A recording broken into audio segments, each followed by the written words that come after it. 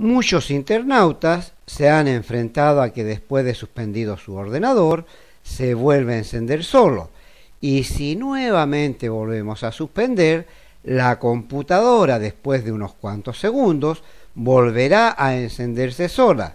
Esto ocurre porque el mouse lo hemos retirado de la placa madre y lo hemos conectado a una tarjeta interna de puerto USB y la suspensión siempre estará en activo en la tarjeta USB aunque suspendamos que no es lo mismo que apagar.